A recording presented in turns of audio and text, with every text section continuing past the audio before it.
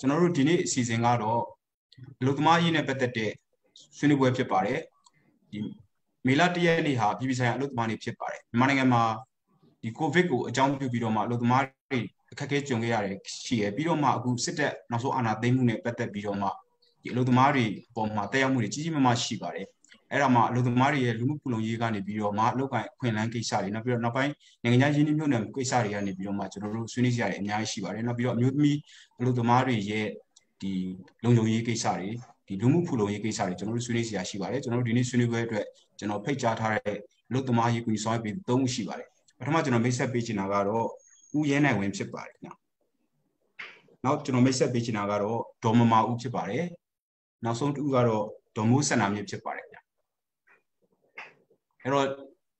ဒီနေ့ဆွေးနွေးပေးကြတဲ့အတွက်အားလုံးကျေးဇူးတင်ပါတယ်ကျွန်တော်စောစောတော့မိတ်ဆက်သလိုပါပဲကျွန်တော်တို့ဒီပြီးခဲ့တဲ့ဒီကိုဗစ်လောက်ကနေစပြီးတော့မှအခုနောက်ဆုံးအာနာသိမ့်တဲ့အထိမှာကျွန်တော်တို့အလုပ်သမားတွေမှာတက်ရောက်မှုတွေအများကြီးဖြစ်ပါတယ်အဲ့ဒီမှာဆိုလို့စက်ရုံတွေပိတ်ရတာတွေရှိတယ်နော်အော်ဒါတွေရက်သွားတာတွေရှိတယ်နောက်ဆိုလို့ရှိရင်ဒီအခုနောက်ဆုံးကတော့နိုင်ငံရေးမငြိမ်သက်မှုပေါ့နော်နိုင်ငံရေးမငြိမ်သက်မှုကြောင့်မလို့ ဒီအာဏာသိမ်းမှုကိုအကြောင်းပြုပြီးတော့မှဆန္ဒပြပွဲတွေပေါ်တယ်ဒီမှာအလုပ်သမားတွေအများကြီးပါဝင်ခဲ့ကြတယ်ပြီးတော့မှအလုပ်သမားခေါင်းဆောင်တွေနော်အလုပ်သမားရေးဆောင်ရွက်သူတွေဖန်ဆီးခံရတဲ့ကိစ္စတွေရှိတယ်ဆိုတော့နောက်ဆက်တွဲကိစ္စတွေအများကြီးရှိပါတယ်အဲ့ဒါတွေကျွန်တော်တို့လွှမ်းခြုံပြီးတော့မှဒီဒီပြီးခဲ့တဲ့နှစ်တွေပေါ့နော်နောက်ဆုံးအာဏာသိမ်းတဲ့အထိမှာအလုပ်သမားဒီနဲ့ပတ်သက်တဲ့တက်ရောက်မှုတွေဘာတွေထူးထူးခြားခြားရှိခဲ့လဲနောက်ပြီးတော့ဘာတွေကိုအရေးတယူဆောင်ရွက်ဖို့လောလောဆယ်လိုအပ်နေတယ်လဲဆိုတဲ့ဟာပေါ့ အနည်းဆုံးဒီကိုဗစ်ကိုပြန်ပြောဖို့နည်းနည်းပြောပြီးတော့မှကျွန်တော်ဒီအာဏာသိမ်းမှုနောက်ဆက်တွဲကြရက်ဒီမှာအလုပ်သမားတွေပုံမှာဘယ်လောက်တက်ရောက်မှုရှိလဲဆိုတာကိုဆွေးနွေးစေချင်ပါတယ်အရင်ဆုံးတော့ကိုရဲနဲ့ဝင်စဆွေးနွေးပြပါဗျာဟုတ်ကဲ့ဗျာဒီ2020ကိုဗစ်လှိုင်းဆိုတော့တကဘာလုံးနဲ့သက်ဆိုင်တဲ့စီးပွားရေးကြေးရိုက်ခတ်မှုကြီးဖြစ်တာအဲကျွန်တော်တို့တိုင်းပြည်ကလည်းနိုင်ငံတကာနဲ့ချိတ်ဆက်ပြီးတော့စီးပွားရေးကဏ္ဍတွေမြင့်တင်နေတဲ့အချိန်မှာဒါကအထူးသဖြင့်တော့ဒါအထည်ချုပ်လုပ်ငန်းတွေကြီးမားမားထိခိုက်တယ်ပေါ့နော်အလုပ်သမား2သိန်းလောက် ကိုဗစ်ဖြစ်တဲ့အချိန်မှာအလုပ်လက်မဲ့တွေဖြစ်တယ်လူမှုခုလုံရေးကနေထောက်ပံ့ကြေးတွေပေးရတာတို့အဲရပ်ဖက်ထောက်ပံ့ကြေးတွေပေးရတာတို့ဒီလိုပြဿနာတွေအများကြီးရှိတယ်ဟိုပြောရင်တော့ကိုဗစ်ရဲ့ရှေ့မှာကကျွန်တော်တို့တိုင်းပြည်အလုပ်သမားပြဿနာကနည်းနည်းအခြေအနေဆိုးနေပြီကိုဗစ်ဖြစ်တော့ပိုဆိုးတာပေါ့ဗျာအဲ့ဒီအကြက်တက်ဖြစ်နေတဲ့အချိန်မှာပဲဒီအကြက်တွေကနေကျွန်တော်တို့ကဒီ2021မှာတော့အတိုင်းအတာတစ်ခုအနေနဲ့ရုံးထွက်နိုင်မလားလို့ကျွန်တော်တို့မျှော်လင့်ချက်လေးတစ်ခုနဲ့ကျွန်တော်တို့တွေကမျှော်လင့်နေကြတာ။ဘာပဲပြောဒီစီးပွားရေးအကြက်တွေရုံးထွက်မယ်အလုပ်ကန်လေးတွေပြန်ရလာမယ်ပေါ့နော်။ အလုပ်ရှင်လုပ်သမားပြဿနာတွေတက်လာတဲ့အစိုးရတစ်နေနဲ့ကျွန်တော်တို့ဘလို့ပူပေါင်းဆောင်ရွက်ပြီးဖြေရှင်းမလဲလို့ကျွန်တော်တို့ကမျှော်လင့်ပြင်ဆင်နေတဲ့ကာလမှာဒုတိယတစ်ခါလည်းစိုးရတဲ့လိုင်းရပါလဲဆိုတော့အဲ2021အားလုံးသိတယ်ဖေဖော်ဝါရီမှာဒါစစ်ဘက်ကနေအာဏာသိမ်းတဲ့ခါကျတော့တကယ်နိုင်ငံရေးအကြက်တွေအကြီးဖြစ်သွားတယ်အဲ့ဒီကကျွန်တော်တို့လည်းဒါဟိုမြင်တယ်ဒီဒီနိုင်ငံရေးချက်တွေရသေးသေးနဲ့ပြီးမှမဟုတ်ဘူးဒီချက်ကတော့ဗာလဲဆိုလို့ရှိရင်ဒီ EU နဲ့အမေရိကယင်းနှိမ့်မြုံနှံမှုတွေဒါပြန်ရုပ်သိမ်းမယ်ဆိုကျွန်တော်တွက်ထားပြီးသား နော်ဟိုတကယ်လည်းရုပ်သိမ်းလာတဲ့အခါကျတော့ဒါတွေကိုမိခိုအားတဲ့ကျွန်တော်တို့အလုပ်သမားတွေရဲ့အလုပ်လက်မဲ့ပြဿနာကဒါအကြီးကြီးဖြစ်လာဒါပုံမှန်အခြေအနေဆိုရင်ကိုဖြစ်မှာဒါကနော်ဟိုဒါပေမဲ့အဲ့ဒါကတဖြည်းဖြည်းတက်ရောက်မှုလာမှာပေါ့သို့တော့ကျွန်တော်တို့ပုံမှန်အခြေအနေမဟုတ်ပဲနဲ့ဒီအာဏာသိမ်းပြီးမကြခင်မှာပဲဒါဒတိုင်းပြည်လုံးဖြစ်တဲ့လူလူဆန္ဒပြမှုကြီးတွေအကြီးကြီးတွေဖြစ်ရတဲ့အခါကျတော့အထူးကြီးမငြိမ်သက်မှုကြီးကိုဖြစ်လာဖြစ်လာတဲ့အခါကျတော့ကျွန်တော်တို့ကဟိုပုံမှန်စီးပွားရေးအကျက်တဲတယ်မဟုတ်တော့ပဲအဲ့ဒီကာလမှာတွေမှာကျွန်တော်တို့ကဟိုအလုပ်တွေရက်သွားတာတို့တော့စားတောက်နေထိုင်ဖို့အခြေအနေမပေးတာတို့ လူသမားတွေအတွက်ဘေးကင်းလုံခြုံတဲ့အခြေအနေမရှိတာတို့ဒီလိုပြဿနာတွေအများကြီးရင်ဆိုင်ရတယ်နော်နောက်တစ်ခါဒီမှာဘာဆိုးတာလဲဆိုတော့ဒီနိုင်ငံဝန်ထမ်းတွေအပါအဝင်ဒါကျွန်တော်တို့စက်မှုစုံတွေမဟုတ်တဲ့ဒီပုဂ္ဂလိကကဏ္ဍတွေပေါ့နော်အာကျွန်တော်တို့ဒီဝန်ဆောင်မှုလုပ်ငန်းတွေဘဏ်လုပ်ငန်းတွေနော်ဒါဆိုဆောက်လုပ်ရေးလုပ်ငန်းတွေလက်လုပ်လက်စားတွေရဲ့တကယ်အအထွေထွေအကြက်တဲကြီးတစ်ခုဖြစ်သွားတာပေါ့နော်အဲ့တော့ဒါကပြောမယ်ဆိုရင်တော့ဒီ2021ဒီနေ့ဖြစ်ပေါ်နေတဲ့ဒီ2020 2021ဖြစ်ပေါ်နေတဲ့ဒီတိုင်းပြည်ရဲ့ ဒီအခြေအနေနိုင်ငံတကာအဖြစ်တဲ့ပတ်သက်တဲ့ဒီကိုဗစ်တိုင်းအခြေအနေနှစ်ခုရဟာကျွန်တော်တို့အဆိုးအဝါဆုံးရင်ဆိုင်နေရတယ်ဒီနေ့အခြေအနေဆိုရင်တော့ကျွန်တော်တို့အမတန်မျှော်မှန်းဖို့ခက်ပါတယ်အလုပ်ကန်ရလဲကျွန်တော်တို့တကယ်တမ်းပြောမယ်ဆိုရင်အခုကဟိုဒီစက်မှုစုံတွေမှာဆိုရင်ဒါလုပ်ငန်းကတဝက်ကျော်လောက်ရော့ကျသွားပြီတချို့စက်ရုံတွေဆိုရင် order တွေမရှိတော့ဘူးအဲကျွန်တော်တို့သိသလောက်ဆိုရင်တချို့စက်ရုံတွေ order တွေ6လပဲလောက်မှအကုန်ရတော့မယ်ဆိုတော့ဟိုဆိုးကျိုးကတော့အမတန်ဟိုဟိုကြီးမားတယ်ဂဲရိုက်ခတ်မှုကဘယ်လောက်ထိဘာတွေဖြစ်လာမလဲဆိုတဲ့နေရာမှာလူငယ်လူရွယ်အလုပ်သမားတွေ မိန်းကလေးလုပ်သမားတွေအလုပ်လက်မဲ့ပြဿနာတွေကိုဘယ်လိုဖြေရှင်းကြမလဲဘယ်လိုရှာဖွေကြမလဲအဲ့တော့ဒီနိုင်ငံရေးအချက်တရားကိုဘယ်လောက်ရုံထွက်လိုက်မလဲဆိုကျွန်တော်တို့မှာဟိုမျှော်လင့်လို့မရတဲ့အခြေအနေဇိုးကြီးတစ်ခုကိုရင်ဆိုင်နေရတာဟုတ်ကဲ့ဟုတ်ကဲ့ပြန်ပြောမယ်ဆိုလို့ရှိရင်တော့လောလောဆယ်ကျွန်တော်တို့ကကိုဗစ်ကောအာဏာသိမ်းမှုရောပေါင်းတဲ့ရလက်ကအထူးအကျက်တေးဖြစ်နေတယ်ပြီးတော့ကျွန်တော်တို့စီးပွားရေးပြက်ကက်ဆိုလို့ရှိရင်ကျွန်တော်တို့ခန့်မှန်းလို့ရတယ်ဗျဥပမာစီးပွားရေးပြက်ကက်တစ်ခုဖြစ်လို့ရှိရင်ဒါဘယ်ဘယ်လောက်လောက်ကြာလို့ရှိရင်တော့ပြန်ပြီးတော့မှနိုးထနိုင်မလဲပြန်ပြီးတော့မှ နလန်ထလာမယ်ဒီလိုတွက်လို့ရပါတယ်ဒါပေမဲ့အခုကနိုင်ငံရေးအကျက်တဲပါဖြစ်နေတဲ့ခါကျတော့ဒီအကျက်တဲကြီးကဘယ်လောက်သွားမလဲဆိုရင်နောက်တစ်ခုကျွန်တော်တို့လူတွေအစုလိုက်ပြုံလိုက်ပြောင်းရွှေ့မှုတွေကျွန်တော်တို့အများကြီးတွေ့ရပါတယ်ဥပမာလှိုင်သားရပေါ့နော်လှိုင်သားရဆိုလို့ရှိလို့ရှိရင်ဒီနိုင်ငံရေးပြဿနာတွေပေါ်တဲ့ခါကျတော့ဒီအလုပ်သမားတွေအများကြီးပဲကျွန်တော်တို့နေတွေကိုပြန်ကြတာမျိုးကျွန်တော်တို့တွေ့ရနောက်တစ်ခုကကျွန်တော်ခဏကိုရဲနဲ့ပြောသွားတဲ့စီမှာဒီစက်မှုဇုံတွေပေါ့စက်မှုဇုံတွေမှာကျွန်တော်နားလဲတာကတော့အ မျိုးသမီးလုပ်သမားတွေအများဆုံးအထူးသဖြင့်အထည်ချုပ်လုပ်ငန်းတွေပေါ့နော်အဲ့တော့ဒီကာလတွေမှာအမျိုးသမီးတွေရဲ့ဒီဘဝတွေပေါ်မှာဘယ်လောက်တက်ရောက်မှုရှိသွားတယ်လဲဆိုတဲ့ဟာပေါ့ဒေါ်မိုးစနာမြင့်လည်းဆွေးနွေးပြပါမယ်ဟုတ်ကဲ့အဲ့တော့ဟိုဟာကျမတို့အလုပ်သမားတွေအနေနဲ့ကတော့ဒီ COVID-19 ကာလ2020မှာဆိုလဲအလူလိတ်ခံခဲ့ရတယ်ပေါ့အလုပ်သမားတွေကကြက်တဲ့ဒီအများကြီးလုံလက်မဲ့ပြဿနာတွေရင်ဆိုင်ခဲ့ရတယ်အဲ့တော့ဒါလေးကိုလွန်မြောက်လာမလဲအခြေအနေမျိုးမှာဒါဖေဖော်ဝါရီကစစ်အာဏာသိမ်းမှုကြောင့် ဒါကျမတို့ဒုတိယအကျက်အတဲအကြီးကြီးမမကိုကျမတို့အလုပ်သမားတွေခံစားနေရတယ်ပေါ့အဲ့တော့ကျမကိုယ်တိုင်ကလည်းဒါအထည်ချုပ်အလုပ်သမားတယောက်ဖြစ်တယ်ပေါ့နော်လက်ရှိမှာဆိုလို့ရှိရင်အထည်ချုပ်အလုပ်သမားအမျိုးသမီးတွေကဒီလုပ်ငန်းခွင်တွေမှာလုပ်ငန်းခွင်တွေမှာလုပ်ငန်းခွင်ရဲ့ဒါအကျိုးစီးပွားတွေချိုးပေါက်တာခံခဲ့ရခံနေရတယ်ခွင့်ရေးဆိုင်ရာတွေလည်းချိုးပေါက်တာခံနေရတယ်ဓာတ်တွေအပြင်ကိုဓာတ်တွေအပြင်ကိုချိန်ချောက်မှုတွေလည်းအစင်စင်ခံနေရတယ် အလုပ်ရှင်တွေကအလုပ်သမားတမကကောင်းဆောင်တွေကိုပြစ်မှတ်ထားတယ်ပြစ်မှတ်ထားပြီးတော့စစ်ကောင်စီကိုတည်င်းအချက်လက်တွေပေးပြီးတော့စက်ယုံနဲ့အထိလာရောက်ရှာဖွေဖမ်းဆီးတာမျိုးတွေလည်းကြုံနေရတယ်နောက်တစ်ခုကကျမတို့ဒီအထည်ချုပ်ကဏ္ဍမှာဆိုရင်အမျိုးသမီးအများစုဖြစ်တယ်ပေါ့နော်အဲ့တော့အမျိုးသမီးတွေရဲ့ကဏ္ဍမှာဆိုလို့ရှိရင်လည်းအဲစက်ယုံနေမှာဆိုလို့ရှိရင်လုံခြုံရေးတွေကအပြင်လုံခြုံရေးအတွင်းလုံခြုံရေးဆိုပြီးတော့ထားကြတယ်ပေါ့နော်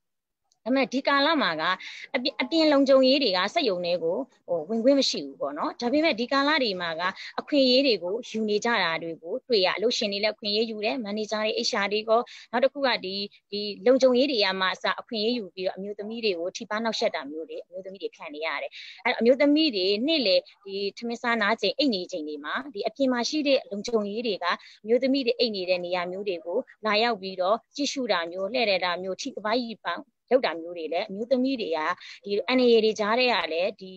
လိမ်မိုင်းဆိုင်ရာ sexual harassment နဲ့ပတ်သက်ပြီးတော့လည်းခံနေရတယ်နောက်တစ်ခုလုပ်ငန်းခွင်အပြန်ပေါ့နော်လုပ်ငန်းခွင်အပြန်ဒီမှာဆိုလို့ရှိရင်လည်းဒီစစ်ကောင်စီတက်ဆွဲထားတဲ့နေရာမျိုးတွေမှာလမ်းကြောင်းတွေမှာဆိုလို့ရှိရင်အမျိုးသမီးတွေကိုခေါ်ပြီးတော့စစ်တပ်တွေ တက်ကလူတွေကခေါ်မေးတယ်ပေါ့နော်မေးပြီးလို့ရှင်ဘယ်ဆက်ယုံမှာလုတ်တယ်အဲဘယ်ကပြန်လာတာလဲပြီးလို့ရှင်ဘာတွေပါလာလဲရွှေတွေငွေတွေပါလာပြီဆိုလို့ရှင်လဲသူတို့ပေးခဲ့ဖို့ပေါ့နော်သူတို့လူရတာမျိုးတောင်းဆိုတာမျိုးတွေရှိကြတယ်အဲ့ဒီချိန်မှာဒီအတွေ့အကြုံတယောက်ပြောပြတာကတော့ तू ကတောင်းပန်ခဲ့တယ်ပေါ့နော် तू မှဘာမှပါမလာဘူးဒါပေမဲ့ तू မှရှိတဲ့ပတ်စံလေးတွေဟိုတော့သူ့အနေနဲ့တောင်းတောင်းမှန်မှန်နဲ့ပေးခဲ့ရတယ်အဲ့တော့ तू ကအဲ့ဒီရဲ့ရန်ကနေပြီးလွတ်မြောက်ခဲ့တယ် ပေါ့နော်အဲ့တော့အမျိုးသမီးလုံခြုံရေးတွေကအခွင့်အရေးတွေချိုးပေါက်ခံနေရတဲ့အပြင်ကိုရခင်ရနေတဲ့ဒီအကျိုးစီးပွားဆိုင်ရာတွေကလည်းလုံးဝပြတ်တောက်ခံခဲ့ရတယ်နောက်တစ်ခုကကြတော့ဥပဒေပါခွင့်နေမပေးဘူးကျမ်းမာရေးအရာကျမ်းမာရေးအရာစိတ်ကူးတတ်မယ်လူမှုဖုန်လုံရေးသွားမယ်ဆိုလို့ရှိရင်လည်းစက်ယုံကလူမှုဖုန်လုံရေးကိုသွားတဲ့လူမှုဖုန်လုံရေးခွင့်ကိုသူတို့တွေကခွင့်မပြုဘူးအဲ့ခွင့်ကိုလည်းမပေးဘူးနေမကောင်းဖြစ်ဖြစ်တယ်ဆိုလို့ရှိရင် စစ်ဆေးရုံကိုလိုက်ပို့ပေးမယ်ဆိုတဲ့ပုံစံမျိုးတွေလည်းဖိအားပေးခံနေရတယ်။အဲ့တော့အလုပ်သမားတွေကအခွင့်အရေးတွေအကျိုးစီးပွားတွေဖိအားတွေချင်းချောက်မှုတွေအများဆုံးကိုအခုချိန်မှာအဲကျမတို့ဒီအထည်ချုပ်ကဏ္ဍကလည်းကဏ္ဍအလုသမားကဏ္ဍမှာအများဆုံးကဏ္ဍဖြစ်တဲ့အတွက်မျိုးသမီးအများစုရှိတဲ့အထည်ချုပ်ကဏ္ဍတွေကအခုလိုမျိုးဖိအားပေးအကြမ်းဖက် ပြီးတော့ချင်းချောက်တာမျိုးတွေကိုခံနေရတယ်။တမကခေါင်းဆောင်တွေဆိုလို့ရှိရင်စစ်ကောင်စီကိုသတင်းပေးမှုတွေကြောင့်စစ်ယုံကနေပြီးတော့အာထွက်ပြေးတိမ်းရှောင်ပြီးတော့ခွင့်မရလို့အလုတ်ပြုတ်သွားတဲ့ခေါင်းဆောင်တွေလည်းအများကြီးရှိနေတယ်။အဲ့တော့အနည်းဆက်ဆုံးနမူနာတစ်ခုဆိုလို့ရှိရင်လည်းဒီဆက်ငွေပင်တဲ့စုံကစက်မှုစုံကစက်ယုံတယုံကဆိုလို့ရှိရင်အလုသမားခေါင်းဆောင်တွေကအလုသွားဆင်းကြတယ် အဲ့တော့မန်နေဂျာကတက်ဆွဲထားတဲ့စစ်ကောင်စီတက်ဆွဲထားတဲ့နေရာကိုသွားပြီးသတင်းပေးခဲ့တယ်ပေးခဲ့တဲ့အချိန်မှာလာရောက်ဖမ်းဆီးတယ်ဖမ်းဆီးတဲ့အခါမှာအဲ့ဒီသမဂခေါင်းဆောင်နှစ်ယောက်ကအဲ့ဒီစက်ယုံရဲ့နောက်ဖေးပေါက်ကနေပြီးတော့သူတို့ကိုလာဖမ်းနေပြီဆိုတဲ့အခြေအနေကိုရိပ်မိတဲ့အပေါ်မှာခုံကြော်ပြီးတော့အခြားစက်ယုံကနေပြီးတော့သူတို့ကဒီအသက်လူပြေး ခဲ့ရတဲ့အခြေအနေမျိုးတွေကိုလည်းကျမတို့ဒီအထေချုပ်ကဏ္ဍမှာအလုသမားခေါင်းဆောင်တွေကကြုံနေရတယ်ပေါ့နော်ဒါကတော့အခုလက်ရှိဒီအာဏာသိမ်းပြီးနောက်ပိုင်းမှာအလုပ်သမားတွေကြုံတွေ့နေရတဲ့အခွင့်အရေးဆိုင်ရာချိုးဖောက်မှုတွေ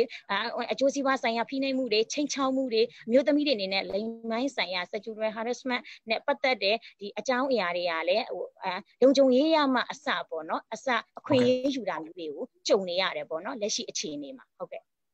အဲ့တော့ ကိုရဲနိုင်ဝင်းပြောသွားတာရောစောစောအခုတော့ဒေါ်မိုးဆန္ဒမြပြောသွားတဲ့စီကိုနားထောင်ကြည့်လိုက်တော့ဒေါ်မမဦးလက်ရှိအခြေအနေမှာလေစိတ်ထဲမှာဘယ်လိုကိစ္စမျိုးတွေကိုအဓိကစိုးရိမ်နေတယ်လူသမားတွေနဲ့ပတ်သက်လို့လေမြန်မာပြည်မှာလူသမားတွေကငကိုတွေကတော့ခွင့်ရေးတွေသူများနိုင်ငံနဲ့စာလို့ရှိရင်အများကြီးနဲတယ်အပြည့်အဝမရကြဘူးဒါလူတိုင်းသိတဲ့ကိစ္စဒါပေမဲ့အခုလိုအခြေအနေကြီးဘုံသုံးကားအခြေအနေကြီးထဲမှာဒီလိုတွေဖြစ်နေတဲ့ခါကျတော့ဒေါ်မဦးအနေနဲ့ဘာတွေကိုအဓိကစိုးရိမ်တယ်ဗျအဓိကလာမှာလေ အဓိကစိုးရိမ်ချက်ကတော့ပေါ့နော်ကျမတို့နိုင်ငံမှာ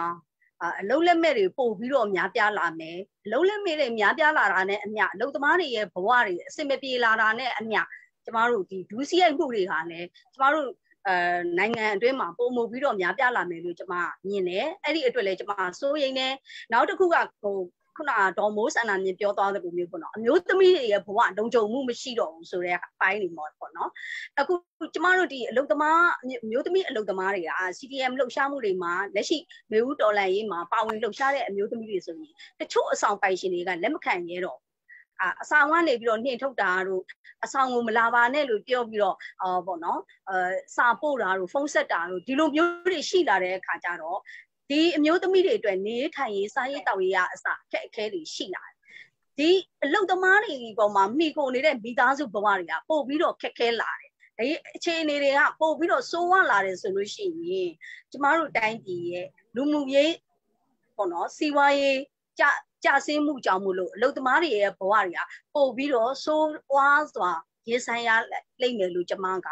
အာမြင်တယ်အဲ့ဒီအတွက်လည်းကျမတို့စိုးရိမ်တယ် မိသားစုဘဝတွေဘယ်လိုဖွင့်ဖြိုးတက်တဲ့အောင်လို့ကျမတို့လုပ်နေတယ်ဒါပေမဲ့လက်ရှိအခြေအနေရကျမတို့လည်းသူတို့ရဲ့ဖွင့်ဖြိုးတိုးတက်မှုတွေကိုလုပ်ပေးလို့မရတဲ့အခြေအနေမှာသူတို့ဘဝတွေကပို့ပြီးတော့ဆုပ်ယုပ်ဆုပ်ယုပ်ဆုပ်ယုပ်ဆုပ်ယုပ်လာတာနဲ့အမျှကျမတို့ အာနိုင်ငံအတွင်းမှာရှိတဲ့အလုတ်သမားအချို့အားဆိုလို့ရှိရင်ဒီပကိုခိုးထွက်ပြီးတော့တရားမဝင်တဲ့နီးလန်းနေနဲ့သွားကြတာတွေရှိတယ်။ဟို social media မှာလည်းကျမတို့တွေ့နေရတယ်။ထိုင်းနိုင်ငံမှာဟာလာခိုးဝင်လာတဲ့အလုတ်သမားဘယ်နှယောက်အာပွဲစားနဲ့ဘယ်နှယောက်ဆိုအလုတ်သမားတွေရဲ့ဘဝကအာဒီပွဲစားတွေရဲ့အလိခံရတာတွေရှိတယ်လူကုန်ကူးခံရတာတွေရှိတယ်ဓာတ်နဲ့ဓာတ်နဲ့ပို့ပြီးတော့စိုးဝါလာတဲ့အခြေအနေတွေကိုမကြခင်ရောက်လာတော့မှကိုတော့ကျမစိုးရိမ်မိ ဟုတ်ကဲ့အဲ့တော့ဒီတက်ဆိုးတဲ့အခြေအနေပေါ့လေကျွန်တော်တို့ခဏဥယျာဉ်နိုင်ဝင်လည်းပြောပါတယ်ဒီတက်ကျွန်တော်တို့ကကြိုတင်ခက်မှန်းလို့လည်းမရနိုင်ဘူးလောလောဆယ်အထွေထွေချက်တေးရင်ဆိုင်နေရတယ်မရေရာမှုတွေရင်ဆိုင်နေရတယ်ရှိမှအဆိုးတွေကြီးပဲကျွန်တော်တို့ကကြိုတင်ညှို့မှန်းလို့ရကြုံမှန်းရမလို့ဖြစ်နေတာပေါ့နော်အဲ့တော့ဒီထက်ဘာတွေထက်ဆိုးနိုင်သေးလဲဥယျာဉ်နိုင်ဝင်တို့ဘယ်လိုကြိုတင်တွက်ချက်ထားတဲ့ scenario ပေါ့အနေထားလေးတွေကဘယ်လိုလိုဖြစ်လာနိုင်လဲဆိုးတဲ့ အဆိုးဆုံးအခြေအနေဆိုတာတော့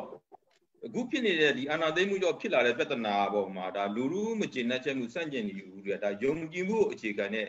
ဒါလူလူအုံကြွားမှုစန့်ကျင်မှုတွေဖြစ်နေတာဒါကဟိုဖြစ်နေတာဒါပေမဲ့လို့ဒီအလုတ်လက်မဲ့ပြဿနာနဲ့ဒီဒီအထွေထွေအကြက်တဲဆိုတာအလုတ်မရှိဘူးစားစရာမရှိဘူးနေစရာမရှိဘူးဟလာဒီဘေကင်းလုံခြုံမှုတွေမရှိဘူးဆိုတဲ့ဟာကအ လုတ်သမားအ ਨੇ စုမှုပဲနဲ့ဟလာဒီတိုင်းပြည်လုံးလွှမ်းခြုံတဲ့တန်းနဲ့ချီတဲ့လုတ်သမားတူကြီးရဲ့ပြဿနာတခုဖြစ်လာပြီဆိုရင်ဒါကအငတ်ပြဿနာကိုဥတီတဲ့ပြဿနာဖြစ်တာအငတ်ပြဿနာကိုဥတီလာလို့ရှိရင်လုတ်သမားဟာသူ့ရဲ့တိုက်ပွဲဝင်အလံကိုသူကင်လာလိမ့်မယ်နော်ဒါကဘာလဲဆိုလို့ရှိရင်ဘဝလိုအပ်ချက်ကိုအခြေခံတဲ့လူမှုဒါအလုသမားဆန္ဒပြမှုတွေအစန့်ကျင်မှုတွေအများကြီးဖြစ်လာနိုင်တယ်ထပ်ပြီးတော့ဟိုကျွန်တော်တို့ဒါ1994တပိတ်ဆိုရင်ဒါကဘာလဲဆိုရင်ဆန်ရှားလို့ထဖြစ်တယ် ကျွန်တော်တို့အမြဲတမ်းခဏခဏပြောတယ်မြန်မာနိုင်ငံအလုသမားလှုပ်ရှားမှုကအများစုပဲနိုင်ငံရေးနဲ့ဆက်နွယ်ပြီးအလုသမားလှုပ်ရှားမှုကမများမရှိဘူးအလုသမားကအများကြီးဘောလိုအပ်ချက်ကိုဥတည်ပြီးတော့လာတာစအခုကငါကြတော့ဘာလဲဆိုတော့ဟိုနိုင်ငံရေးတကယ်အချိန်ပြောင်းကြီးမှာတို့ရဲ့မျှော်လင့်ချက်တွေကင်းမဲ့သွားတဲ့သဘောဖြစ်သွားတယ်နော်နည်းနည်းလေးရေးရေးလေးရှိနေတဲ့ဒီရက်ဖက်အုပ်ချုပ်ရေးစနစ်10နှစ်တာကမျောလင်းချက်ကလေးတွေပျောက်သွားတဲ့အချိန်မှာဟာလားဒီမျောလင်းချက်ကိုအခြေခံတဲ့လူငယ်အများစုပါဝင်တဲ့လူမှုအောင်ကြွားမှုကြီးမှာလူသမားတွေပါဝင်လာ ဒါကယုံကြည်မှုအခြေဒါပေမဲ့ဒီအချက်တည်းရဲ့နောက်ဆက်တွဲကဘာဖြစ်လာလဲဆိုလို့ရှိရင်စောစောပြောတဲ့စီးပွားရေးအထွေထွေအချက်တည်းရဲ့နောက်ဆက်တွဲမှာလုံးလက်မဲ့ပြဿနာအငတ်ပြဿနာကနောက်တစ်ဆင့်ဒါကအငတ်ပြဿနာကိုအခြေခံတဲ့ဒါနိုင်ငံရေးမတည်ငြိမ်မှုတွေလူမှုအောင်ကြွားမှုတွေလည်းဖြစ်လာနိုင်တယ်အဲ့ပြဿနာမြင်နေမှုတွေမှာဒါဟာလားဟိုဟိုအုပ်ချုပ်တဲ့သူတွေကဘလို့ကင်တွေဖြည့်ရှင်းမလဲဆိုတာကအရေးကြီးတယ်နော်အကျန်းလေးနဲ့နှိပ်ကိုဖြည့်ရှင်းမလားငတ်နေတဲ့ပြဿနာတော့အကျန်းကြီးနဲ့နှိပ်ကိုဖြည့်ရှင်းလို့မရဘူးအကြိုတင်နီလန်းချပြီးဘလို့လောက်ကြမလဲနော် အဲ့တော့ပြောမယ်ဆိုရင်တော့ဒီအကြက်တဲကိုထွက်ပေါက်ကဘလို့သွားမလဲဆိုရင်ကျွန်တော်တို့အလုပ်သမားတွေကစဉ်းစားမယ်အပိုင်းဖို့တော့နော်နိုင်ငံရေးမှာပါဝင်ပတ်သက်တဲ့သူအားလုံးကစည်ရင်းစေတမှန်မှန်နဲ့စဉ်းစားအဖြေရှာမယ်ကိစ္စဖြစ်တာဟိုငတ်ရင်တော့ငတ်တဲ့အတွက်ရနေကမငတ်အောင်တော့တောင်းအောင်မှာကိုလိုကိုလိုကြမှာဒါမို့ကျွန်တော်စောစောကပြောခဲ့တယ်ကြိုတင်မျှော်မှန်းဖို့ခက်တဲ့အခြေအနေကိုကျွန်တော်ရင်ဆိုင်နေရတယ်ဟောအရှိမဒေါ်မိုးစနာမြင့်လည်းပြောသွားတယ်ပေါ့နော်စက်ုံထဲမှာတော့ဒီလိုတွေဖြစ်နေတယ်အဲတခါလမ်းသွားရင်ဒီလိုတွေဖြစ်နေတယ်ဆိုလို့ရှိရင်အမျိုးသမီး ဒီဘဝလုံခြုံရေးနဲ့ပတ်သက်ပြီးတော့မှပြဿနာတွေအများကြီးရှိနေတယ်အရင်တော့ကတော့ဟိုဘာပဲပြောပြောအလုသမားသမဂ္ဂတွေအလုသမားအဖွဲ့အစည်းတွေရှိတယ်ပေါ့နော်အခုချိန်မှာအလုသမားသမဂ္ဂတွေအဖွဲ့အစည်းတွေကဘယ်လိုရက်တည်နေရလဲအလုသမားတွေကိုကူညီပေးနိုင်တဲ့အနေအထားရောရှိသလားဆိုတဲ့ဟာလည်းကျွန်တော်သိချင်ပါတယ်အဲ့ဒါ ဝိုင်းပြီးဆွေးနွေးပေးစီချင်ပါတယ်ဒေါ်မောင်ဦးကနေပြီးစကျွန်မပဲဆွေးနွေးလိုက်မယ်ကိုနေအခုဆိုလို့ရှိရင်ကျမတို့ဒီအလုတ်သမားသမဂ္ဂတွေကိုကျမတို့မြန်မာနိုင်ငံမှာဥပဒေတွေရှိနေတော့ညာလဲအလုတ်ရှင်တွေကအတိမတ်မပြုကြဘူးအလုတ်ရှင်တွေအတိမတ်မပြုတဲ့ပုံမှာဥပဒေတွေရှိတော့ညာလဲဌာနဆိုင်ရာတွေကလည်းအလုတ်ရှင်တွေနဲ့ပူးပေါင်းပြီးတော့သမဂ္ဂ ဖွဲ့ခြင်းအပေါ်မှာအလုပ်ရှင်တွေနဲ့ဒါဟိုဟိုနဲ့လမ်းကြောင်းတစ်ခုတည်းပဲအဲ့တော့ကျမတို့ကဒီဟိုဒီဖွံ့ဖြိုးဆက်ကာလအခြေအနေတစ်ခုမှာကကျမတို့သမဂတွေဟိုဖွဲ့စည်းနိုင်ခဲ့တယ်2012နောက်ပိုင်းမှာ2015 2019 2018မှာကျမတို့ဒီအခက်အခဲတွေကြားတဲ့ဖွဲ့စည်းနိုင်တယ်2019လောက်ထီကိုကျမကတွေကအားကောင်းလာတဲ့အခြေအနေမျိုးမှာ2020မှာကိုဗစ်ကြောင့်တော်တော်များများကအလောဒီတမက ခေါင်းဆောင်ရှိတဲ့စက်ယုံတွေကပြစ်မှတ်ထားပြီးအလုတ်ပိတ်တာမျိုးလုတ်သားလျှော့တာမျိုးတွေကျမတို့ကြုံခဲ့ရတယ်ပေါ့နော်အဲအဲ့ချိန်တွေမှာတော့ကျမတို့ဒီတကြောသမဂတွေရဲ့ဟိုဖင်ပြိုးပြီးတော့တိစောက်နေတဲ့သမဂကဏ္ဍကတော်တော်များများရိုက်ချိုးခံခဲ့ရတယ်အခုလိုမျိုးအာနာသိမ့်တဲ့အချိန်မှာပိုဆိုးလာတယ်ပေါ့နော်အခုလိုအာနာသိမ့်တဲ့အချိန်မှာဥပဒေကဘာမှမသိတော့တဲ့အခြေအနေလုံးဝ ဟိုလုံးဝတရားမဝင်တော့တဲ့အခြေအနေမျိုးပုံစံမျိုးသူတို့ချိုးနေတဲ့အခါမှာသမဂခေါင်းဆောင်တွေအရင်လိုမျိုးသူတို့တွေကဒီဟိုဟိုနဲ့ဗလမ်းချောင်းလွဲပြီးတော့ဒီစက်ယုံပိတ်လောက်သားလျှော့တဲ့အခြေအနေမျိုးမဟုတ်တော့ဘဲနဲ့တန်းပြီးတော့အလုတ်ထုတ်တဲ့အခြေအနေမျိုးတွေကျမတို့ကြုံနေရတယ် နောက်တစ်ခုကတမကခေါင်းဆောင်တွေကိုအချက်လက်တွေကိုစစ်ကောင်စီကိုသတင်းပေးတယ်သတင်းပေးတဲ့အခါကျတော့စစ်ကောင်စီကနေပြီးလာရောက်ရှာဖွေတဲ့အခါမှာတမကခေါင်းဆောင်တွေကအဖမ်းမခံနိုင်ရေးအတွက်ကိုသူတို့တွေကဖက်ပြေးတိမ်းရှောင်ကြရတယ်အဲ့တော့စက်ယုံမှာတမကတွေမရှိတော့တမကတွေမရှိတော့တဲ့အတွက်ရခင်လုံးကတမကတွေနဲ့ချုပ်ထားတဲ့စာချုပ်ပါစီမင်းစည်းကမ်းတွေကလုံးဝမလိုက်နာတော့ဒီစာချုပ်တွေအကျုံးမဝင်တော့ဥပဒေဆိုတာလည်းမရှိတော့ဘူးလုံနိုင်ရင်လုံမလုံနိုင်ရင်နေပြီးလို့ရှိရင်ငါတို့ပေးတာကိုယူရမယ်ငါတို့ခိုင်းတာကိုလုပ်ကြမယ်အခြေအနေမျိုးတွေဖြစ်လာတယ် သမကရှိတဲ့စက်ယုံနေကြပြန်တော့လေအဲ့ဒီသမကတွေလှုပ်လို့မရအောင်သူတို့တွေကချင်းချောက်ထားတယ်နင်တို့ ဒီဒီကန်ဒီအလုသမားနဲ့ပတ်သက်တဲ့အချက်လက်တွေတောင်းဆိုလာမယ်စာချုပ်ပါအချက်လက်တွေငါတို့ကလုတ်ပေးရမယ်ဆိုရင်နင်တို့ရဲ့တတိအချက်လက်တွေကိုငါတို့ကစစ်ကောင်စီကိုပေးမယ်အဲ့တော့စစ်ကောင်စီပေးလာလို့စစ်ကောင်စီကလာရှာလို့ရှိရင်ငါတို့ကစက်ယုံတကားဖွင့်ပေးမယ်အဲ့ကြလို့ရှိရင်တို့တိုင်းနဲ့နင်တို့ကံမဲဆိုတဲ့ပုံစံမျိုးတွေပြောလာတာမျိုးရှိသလိုအခွင့်နဲ့အလုံနာနေတဲ့သမကခေါင်းဆောင်တွေကိုလည်းနင်တို့ကိုလာရှာနေတယ်နင်တို့အချက်လက်တောင်းငါတို့ကပေးရမှာအဲ့တော့နင်တို့လာလို့ရှိရင်နင်တို့ဖမ်းခံရမှာပဲဒါကြောင့်ငါတို့ကခွင့်လည်းမပေးနိုင်ဘူးဆိုတဲ့အခြေအနေမျိုးတွေမှာအလုတ်ပြုတ်သွားတဲ့သမကခေါင်းဆောင်တွေရဲ့အများကြီးပဲဖြစ်နေတယ်အဲ့တော့သမဂခေါင်းဆောင်တွေကအလုသမားတွေနဲ့ပတ်သက်ပြီးရခင်တောင်းဆိုထားတဲ့သဘောတူစာချုပ်တွေကလည်းချိုးဖောက်ခံခဲ့ရတယ်လက်ရှိမှာဖြစ်ပျက်ပြီးတော့ကိုမျက်စိရှေ့မှာချိုးဖောက်နေတဲ့အရာတွေကလည်းဘာမှလုပ်လို့မရတဲ့အခြေအနေမျိုးတွေမှာအလုသမားတွေကအလုရှင်ရဲ့ဒီမိသားစုဝမ်းရေးနဲ့အလုကန်တည်မြဲရေးအတွက်ကိုဟုတ်ကဲ့ခိုင်းတာကိုလုပ်နေရတယ်ခိုင်းတာလုပ်တယ်အာသူတို့ပြောတာကိုနားထောင်နေရတယ်ခိုင်းတာမလို့ပြောတာနားမထောင်ရင်အလုတ်ပြုတ်တဲ့အခြေအနေမျိုးအလုတ်ထွက်ကြတဲ့အခြေအနေမျိုးတွေကိုရင်ဆိုင်နေရတယ်ဟုတ်ကဲ့ ဟုတ်ကဲ့ဒေါ်မာဦးဒီကိစ္စနဲ့ပတ်သက်ပြီးတော့မှဖြည့်ပြီးဆွေးနွေးစီနာရှိပါလားအလုသမားသမဂအဖွဲ့အစည်းတွေရဲ့လက်ရှိနေထိုင်နေရတဲ့အခြေအနေလေးဘယ်လိုရှိလဲ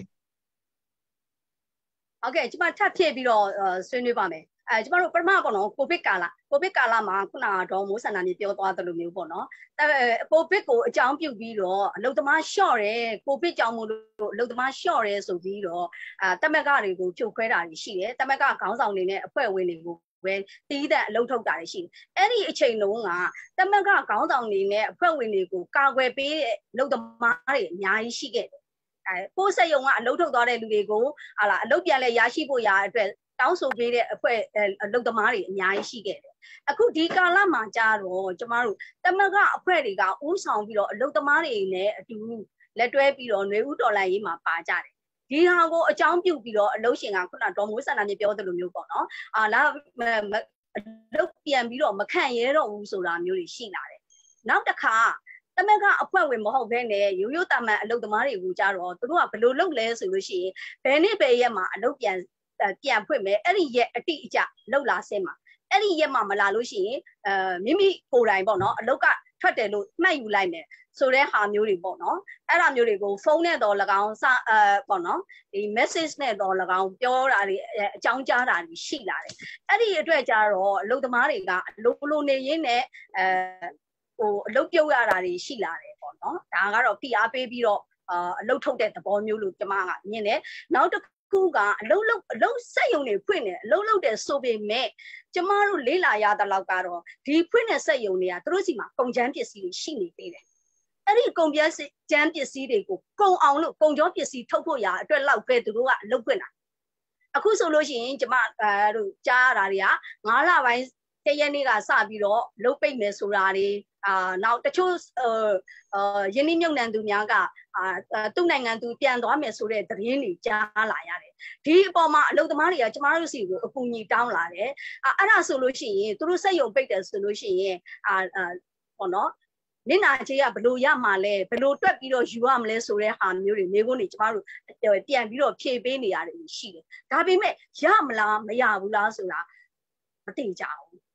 အဲ့ဒါလိုပုံစံမျိုးတွေဖြစ်တယ်အဲ့တော့နိုင်ငံရေးမြန်မာနိုင်ငံရဲ့နိုင်ငံရေးအခြေအနေရှုပ်ထွေးနေတဲ့ပြင်းထန်နေတဲ့အပေါ်မှာမူတည်ပြီးတော့စက်ယုံလုပ်ငန်းရှင်များကသူတို့အကျိုးအမြတ်ကိုကောက်ယူသွားတာပဲကျမတို့ဝမ်းနည်းစွာနဲ့တွေ့ရတယ်အလုပ်သမားတွေကအလုပ်လဲလုပ်ရတယ်အလုပ်လုပ်ရတဲ့ခါကျတော့ ပုံမှန်လုပ်ရတာကရင်တော့ဆိုလို့ရှိရင်ဟလာနေဟိုသူတို့ပေးချေကလစာရှိတယ်နောက်ပြီးတော့ဒေးချေရှိတယ်ရက်မှန်ချေရှိတယ်အာ OT ချေရှိတယ်အခုကျတော့ဒေးချင်းကလွဲလို့ကြံတာမရှိတော့အိုတီလည်းမခေါ်တော့အဲ့တော့ငကိုမူလရတဲ့လာစာတဲ့တဝက်နီးပါးရော့ကြသွားတာတွေရှိတယ်ပေါ့နော်အဲ့ဒီမှာအဆောင်စရိတ်စားတောက်စရိတ်ဆိုတဲ့ အခက်အခဲတွေပေါ့နော်အလုပ်သမားတွေကရင်ဆိုင်လာရတယ်အဲ့ဒီအခက်အခဲတွေရင်ဆိုင်လာရတဲ့အတွက်ကြောင့်မို့လို့အာကို့နေရဌာနေကိုပြန်မယ်ဆိုပြန်တော့လေလန်ခီမာကလည်းသူတို့အမိန်ကလေးတွေအတွက်လုံခြုံမှုမရှိဘူးကျမဒီဘက်ကအမျိုးသမီးပါလဲဆိုသူအာဒီမှာနေလို့မရလို့အာအဆောင်ရှင်ကလည်းလက်မခံလို့အာပြန်ရတယ်လမ်းမှာကားပေါ်ကမျိုးသားတွေကသူ့ကို မဖွဲ့မရလုပ်ဖို့ရအတွက်ကြိုးစားတယ်အာဒီကလေးမလေးကအာထက်ထက်မြက်မြက်အလုပ်သမားခေါင်းဆောင်လေးဖြစ်တဲ့အတွက်သူကရဲစခန်းကိုလှမ်းပြီးတော့အကြောင်းကြားပြီးတော့တိုင်တာတွေပြုတာရှိလာတယ်အဲ့ဒီကြောင့်မှအဲ့ဒီကားကားပေါ်ကလူတွေကရက်တဲ့ရောက်တဲ့နေရာမှာဆင်းပြီးတော့ကြံရစ်ခဲ့တယ်ဒါမျိုးတွေကဘယ်ဒီကျမစီမှာရောက်လာတဲ့ဒီအမှုတစ်ခုအဲပဲရှိတာမဟုတ်ဘူးကျမမသိတဲ့အမှုတွေဘယ်လောက်များများရှိနေမလဲဟုတ်ကဲ့ဦးရဲနိုင်ဝင်ရော ဒီအလုသမားတွေတမကတွေရဲ့လက်ရှိဒီလိုဖြစ်နေတဲ့အချိန်မှာအလုသမားတမကတွေရဲ့အခြေအနေရောဘယ်လောက်ထိအလုသမားတွေကိုကူညီနိုင်တဲ့အခြေအနေရှိလဲခင်ဗျာဒီချက်တော့ဗျာဒီအလုသမားတမကတွေဖွဲ့စည်းရဲဆိုတာ2011ခုနှစ်အလုသမားဖွဲ့စည်းဥပဒေရပေါ်ပေါက်လာတော့အဲ့တော့ဒီအဖွဲ့အစည်းဥပဒေမှာကအလုံသမားသမဂ္ဂတွေကိုခြိထားတုတ်ထားတာတွေကအများကြီးရှိတယ်သမဂ္ဂလို့လို့မရဘူးနောက်အဲ့ပေါ်ပေါ်လာတဲ့သမဂ္ဂတွေဆိုမြန်မာနိုင်ငံအလုံသမားတို့ရဲ့3.2ရာခိုင်နှုန်းပဲရှိတယ်နည်းနည်းလေး နော်အဲ့သမဂ္ဂမဟုတ်တဲ့အပြင်မှာရှိနေတဲ့အလုံသမားကဟိုတန်ပေါင်းများစွာရှိတယ်အဲ့တော့ဒီနေရာမှာအဲ့တန်ပေါင်းများစွာရဲ့ပြဿနာကဟိုဒီစနစ်တာအုပ်ချုပ်ရေးကာလမှာလည်းတက်နေတာပဲသမဂ္ဂမဟုတ်တဲ့ပြဿနာအဲ့တော့အရေးကြီးတာကဘာလဲဆိုလို့ရှိရင်တော့ဒီအလုံသမားဥပဒေတွေဟလာတကယ်အလုသမားအခွင့်အရေးတွေကိုကာကွယ်စောင့်ရှောက်တဲ့အလုသမားဥပဒေတွေအသက်ဝင်ဖို့ဘလို့အုပ်ချုပ်ရေးစနစ်တွေပဲပြောင်းပြောင်းသွားဒီဥပဒေတွေအသက်ဝင်နေဖို့လိုတယ်အဲအုပ်ချုပ်ရေးရန်တရားတွေကမှန်ကန်စွာပြည့်ရှင်းနိုင်ဖို့လိုတယ် အဲ့ဒါမရှိဘူးဆိုရင်တမကရှိရှိမရှိရှိအလုသမားပြဿနာကဒီလိုပဲတက်နေမှာပဲတော့ကျွန်တော်တို့တမကတွေဖွဲ့စည်းတဲ့နေရာမှာဟလာဒီကျေပြန့်လာတဲ့နိုင်ငံတကာဆက်ဆံရေးအခြေအနေတွေအရာဟလာဟိုနည်းနည်းထိတွေ့ဆက်ဆံမှုတွေရှိရမလို့တကယ်အလုသမားအခွင့်အရေးတွေကတမကတွေရှိတယ်လည်းချိုးပေါက်ခံနေရတာအဲ့တော့ဒီနေရာမှာကျွန်တော်ကတော့ဟိုလုပ်ငန်းရှင်တွေကိုကျွန်တော်အပြစ်မပြောလို့နော်ဟိုလုပ်ငန်းရှင်ဆိုတာကျွန်တော်အများအားပြောပါတယ်သူတို့အများရရှိဥတီပြီးလို့လုပ်တာသူအများရလုပ်မှာသို့တော့အဲ့နေရာမှာဟာလားမတရားသဖြင့်အမျက်တွေမယူဖို့ဟာလား ဟိုလူအခွင့်အရေးတွေချိုးပေါက်ခံရတာအလုပ်သမားအခွင့်အရေးတွေချိုးပေါက်ပြီးတော့ခိုင်းရတော့မဖြစ်ဖို့ဆိုတာကာကွယ်စောင့်ရှောက်ဖို့ကအုပ်ချုပ်သူအစိုးရတွေတာဝန်ပဲနော်အဲ့ဒါကခေတ်ဆက်ဆက်ပြက်ကွက်တာဒီနေ့လည်းပြက်ကွက်တယ်အရှိကာလမှာလည်းပြက်ကွက်ခဲ့အဲ့တော့ဒီခုတော့ရှိတာအဲ့နည်းနည်းပွင့်လင်းတဲ့ကာလမှာကျွန်တော်တို့ကသတင်းမီဒီယာတွေနဲ့ချိတ်ဆက်နိုင်တာသတင်းမီဒီယာတွေကိုအဲ့ဒါလူသမားတွေကထုတ်ပြောနိုင်တာသတင်းမီဒီယာတွေသတင်းလိုက်နိုင်တာအလုပ်သမားကြီးဆောင်ရွက်သူတွေအလုပ်သမားသမဂ္ဂတွေကလည်းတက်နိုင်သလောက်အရေးဆိုတာဆိုတော့နည်းနည်းကျွန်တော်တို့ကဟိုတက်တော့နည်းနည်းအဟန့်တာဖြစ်တာနော်အဟန့်တာဖြစ်တော့လုပ်ချင်တယ်လုပ်လို့မရဘူး သို့တော့ဒီနေ့ကာလကျတော့အဲ့ဒီရန်နေဟာကြီးကပြတ်သွားပြတ်သွားတဲ့ခါကျကျွန်တော်ပြောချင်တာဥပဒေကမရှိဘူးလားရှိရင်ဥပဒေဖြစ်တာတခုမှမရှိဘူးသို့တော့အဲ့ဥပဒေအတက်ဝင်မှုဆိုရင်ပြောစရာကစောစောကပြောတဲ့နိုင်ငံရေးချက်တွေဖြစ်တယ်လေဟလာလုံသမားဝင်ကြီးဌာနကဒီရောက်တကယ်အကောင့်တွေပေါ်မှာလားဆိုရင်လုံသမားဝင်ကြီးဌာနမှာတော့စီရီယံဝင်နေတဲ့ဝန်ထမ်းဘယ်လောက်ရှိကျွန်တော်တို့မသိဘူးနော်ဆိုတော့ပြဿနာကအထွေထွေပြဿနာအဲပြောချင်တာကဒီမှာကဟိုအလုံသမားအလုံရှင်ပြဿနာဆိုတာကရှိနေမှာပုဂ္ဂလိကစီးပွားရေးစနစ်ဆိုပိုးရှိမှာ ရှိတော့တော့ဘလို့နိုင်ငံရေးစနစ်တွေတွားတွားဟဲ့လားစီဗီဇာဒီဥပဒေတွေကအမှန်တကယ်ဟဲ့လားနိုင်ငံတကာစံချိန်စံညွှန်းတွေနဲ့ဟဲ့လားကိုက်ညီတဲ့ဟဲ့လားလုံသမားအခွင့်အရေးကာကွယ်တဲ့ဥပဒေတွေဖြစ်ဖို့လိုတယ်ပြီးတော့ဒါတွေကတကယ်အသက်ဝင်အောင်လုပ်ဖို့လိုတယ်ဟဲ့လားထိုင်းမှာလည်းအာဏာသိမ်းတာပဲသို့တော့သူ့ဥပဒေသူဆက်သွားနေတာပဲဟဲ့လားဟိုကျွန်တော်တို့ဟိုပြောမယ်ဆိုရင်ကျွန်တော်တို့ဒီပါကစ္စတန်တို့ဘာလို့လဲအာဏာသိမ်းတာပဲနိုင်ငံရေးအာဏာပဲသူတို့သွားကြပြီပဲအခြေခံကိုသွားမထိဘူးကျွန်တော်တို့တန်းပြည်မှာအစင်လာဖြစ်တာကဟဲ့လားအထုပ်ချုပ်ရေးတစ်ခုပြောင်းပြီဆိုရှိပြီးသားရန်ရတွေအကုန်ရက်တယ် နော်နောက်အချုပ်ကြီးကသူပြောချင်သလိုသူလုပ်ချင်သလိုတွေဟာဥပဒေတွေနေဥပဒေတွေဒီတိုင်းဆွဲထုတ်ပြီးတော့ကျင့်သုံးတဲ့အခါကျတော့ဒီအစင်းစင်းဒီအုပ်ချုပ်ရေးရန်ရပြတ်သွားတဲ့တံမှာအဓိကတော့အောက်ဆုံးမှာပေါ့အကာအကွယ်မဲ့တဲ့လူလူပေါ့ဟုတ်လားအလုပ်သမားတွေလူလူတွေပိုခန်းတာဒီနေ့ကျွန်တော်တို့ပြဿနာလဲအဲ့ဒါပဲအဒီမှာကျွန်တော်စနစ်တာကာလအတွင်းမှာဆိုကျွန်တော်တို့ဘက်ပေါင်းစုံကဒီဟာကိုကျွန်တော်ပူးပေါင်းဆောင်ရွက်ခဲ့ကြတဲ့တင်မှာကျွန်တော်ပြောချင်ပါတယ်ဒါကဟို NLD အစိုးရပါဝင်ကြံ့ငံဖွံ့ဖြိုးရေးအစိုးရကျွန်တော်တို့အလုပ်သမားတွေကိုဒီလောက်သိစိတ်ဝင်စားခဲ့ပါ နော်တခြားလို့အဲ့ဒီဗာလေဥပဒေတွေစိုးစိုးဝါထွက်ခဲ့တာတွေအများကြီးပါပဲကျွန်တော်ပြောနေဆိုနေတဲ့ကနော်ဒီနေ့ကတော့ပိုဆိုးတာပေါ့နော်အဲ့တော့ဗာလေဆိုဟိုတမကတွေရှိတော့နည်းနည်းတက်တာတယ်တမကတွေမရှိတော့ဆိုတော့ဟိုမျောလင့်ချက်မရှိတော့သို့တော့ကျွန်တော်တို့ကဟိုရတဲ့လောက်တော့စောစောကပြောခဲ့တယ်ကျွန်တော်တို့စီလေလာတယ်အလုပ်သမားတွေမနေ့ကကျွန်တော်ဖုံးဆက်တယ်ရွှေပြည်သာဘက်ကအလုပ်သမားတွေကစက်ရုံကရင်နှစ်ယုံရှိတယ်ပစ္စည်းတွေတဖြည်းဖြည်းရွှေ့တယ်အလုပ်ကမရှိတော့ဘူးနော်အဲပိတ်တော့မပြောတယ်အဲဆရာဘာဆက်လုပ်ရမလဲကျွန်တော်တို့ကပြောနိုင်တာပါလေ အဲ့ဒါစက်ရုံပိတ်မယ်ဆိုရင်ဥပဒေနဲ့အညီသတ်မှတ်ထားတဲ့လုံသမားနဲ့နာကြီးတွေသူတို့ပေးရမယ်ပေးဖို့သူတို့မပေးဘူးဆိုရင်ကျွန်တော်တို့ကပြောတယ်ဟာရွှေပြည်သာဘက်မှာလုံသမားရုံးနေရှိသေးလားရှိရင်သွားတိုင်မရဘူးဆိုလည်းစက်မှုစုံကြီးကြပ်ရေးကော်မတီတွေစက်မှုရုံစုံကြီးကြပ်ရေးအဖွဲ့တွေရှိတယ်သွားတိုင်နော်အဲ့ဒါမှမရဘူးဆိုလည်းနောက်တစ်ဆင့်စဉ်းစားကြတာပေါ့ကျွန်တော်တို့ကဒီလိုတော့ပြောလို့ရတယ်ပြောလဲပြောပါလုပ်လဲလုပ်ပါနော်သို့တော့ပြောချင်တာကတော့ဓာရီကဘာလဲဆိုလို့ရှိလို့ရှိရင်အုပ်ချုပ်ရေးတစ်ခုပြောင်းပြီဆိုလို့ရှိရင်ကျွန်တော်တို့တိုင်းပြည်အစင်လာဇိုးကြီးကိုမပယ်ဖျက်ကျွန်တော်ခံရမှာရှိသမျှဟာလေအားလုံးဖျက်ချတယ်ကောင်းကောင်းမကောင်းကောင်း နောက်လူကစံတော်ဝါလှုပ်ချင်တဲ့လှုပ်မဟုတ်ချင်တဲ့ဟုတ်မဟုတ်ချင်တဲ့မဟုတ်အဲ့တော့ဒီပြဿနာဖြေရှင်းရဲ့နံပါတ်1တာဝန်ရှိတဲ့လူကအုပ်ချုပ်တဲ့သူတွေပဲလို့ကျွန်တော်ပြောချင်တယ်ဟုတ်ကဲ့ကျေးဇူးတင်ပါတယ်ဦးရနေအဲ့တော့ကျွန်တော်တို့ဒီမှာဒီကုန်းပိုင်းကိုကျွန်တော်သွားလိုက်ရှင်ပါတယ်အဲ့ဒါဘာလဲဆိုတော့အခုချိန်မှာအစိုးရကဘယ်ဘယ်သူလဲလို့မေးစရာမေးခွန်းပုံမှန်ဒီမှာရှိပါတယ်အဲ့တော့လက်ရှိဒီနိုင်ငံနိုင်ငံကိုလက်နက်နဲ့ထိန်းထားတဲ့နော်စစ်ကောင်စီကအစိုးရလားဒါမှမဟုတ်ပြည်သူလူထုက ဒီကောက်ပွဲနဲ့အနိုင်ပေးထားတဲ့ဖွဲ့စည်းထားတဲ့ UNG ကအစိုးရလားဆိုရင်မေးခွန်းရှိပါတယ်အဲ့တော့ဒီလိုအခြေအနေမှာကျွန်တော်အဓိကအဓိကပို့ပြီးတော့မှ ion site ပြီးတော့မှသိစေချင်တာအခုအစိုးရဒီ UNG အစိုးရအဖွဲ့အစ်စ်ပေါ်လာတာပေါ့နော်သူတို့လုပ်ငန်းတွေဆောင်ရွက်နေတာကြီးလည်းကျွန်တော်အများကြီးတွေ့ရပါတယ်အဲ့တော့ဒီလိုအခြေအနေမျိုးမှာဂျာကာလာအခြေအနေမျိုးမှာဒီအလုပ်သမားရေးနဲ့ပတ်သက်ပြီးတော့မှအဓိကတော့ဒီ UNG အစိုးရကိုဘယ်လိုတွေပြောချင်လဲပေါ့နော်ဘယ်လိုမျိုး စီမံဆောင်ရွက်စီခြင်းလဲဆိုတဲ့ဟာမျိုးပေါ့နော်အလို့ဒီမှာအထူးသဖြင့်အခုလိုမျိုးကျွန်တော်တို့ဆွေးနွေးသွားသလိုမျိုးအကာအကွယ်မဲ့နေတဲ့အခြေအနေပေါ့နော်ဘက်ကတော့စစ်ကောင်စီကတော့သူကတော့အာဏာသိမ်းပြီးတဲ့ကတော့ဒီဥပဒေဆိုတာတော့မရှိတော့ဘူးပေါ့နော်သူဒါလည်းတရားဝင်ပြောထားတဲ့ကိစ္စပါပဲအဲ့တော့တည်ငြိမ်ရေးနောက်တစ်ခုကကျတော့ဘာ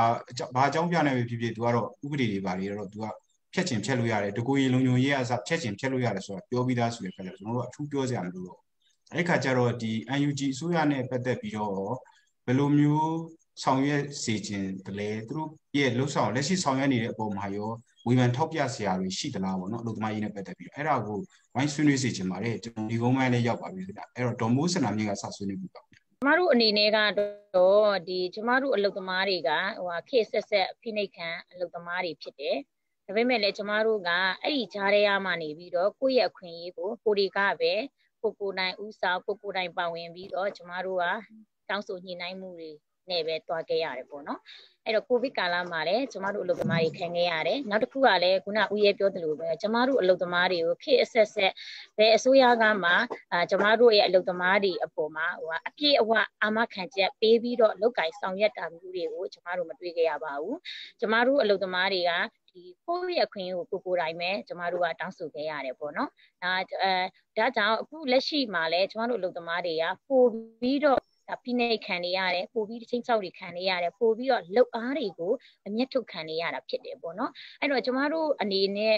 လုံသမားရေးကျမတို့ ကိုကြီးဆောင်ရွက်ပေးတဲ့လူတွေအနေနဲ့ကလည်းကျမတို့နိုင်ငံတကာပေါ့နော် brand တွေကိုကျမတို့အခုလိုအခြေအနေမျိုးတွေမှာအလုပ်သမားတွေအလုပ်လက်မဲ့တွေဖြစ်နေရတယ်အလုပ်သမားအခွင့်အရေးတွေချိုးဖောက်ခံနေရတယ်နော်အလုပ်အလုပ်အကန့်အခွင့်အရေးတွေဆုံးရှုံးနေရတယ်ဒီအပေါ်မှာလူသားချင်းစာနာထောက်ထားမှုတွေနဲ့ကျမတို့ဒီဟိုပါပေါ့ supplier လုပ်ငန်းရှင်တွေကိုပေါ့နော်ဖိအားပေးပြီးတော့လူသားချင်းစာနာထောက်ထားမှုနဲ့ဒီအချိန်မှာအလုပ်ကန့်ခွင့်တွေတည်မြဲရေးအတွက်ကိုကျမတို့လုပ်ပေးဖို့ကျမတို့တွေ statement တွေထုတ်ခဲ့တယ်အပြောဆွေးနွေးခဲ့တယ်ဒါပေမဲ့ကျမတို့ဘာကူကြီးမှမရခဲ့ဘူး။ဒါကြောင့်ကျမတို့အလုပ်သမားတွေကမတရားမှုမှာဒါအရှိဆုံးကနေပြီးတော့ကျမတို့ကပါဝင်ခဲ့တယ်။ကျမတို့အမြဲတမ်းမတရားမှုတွေကိုကျမတို့က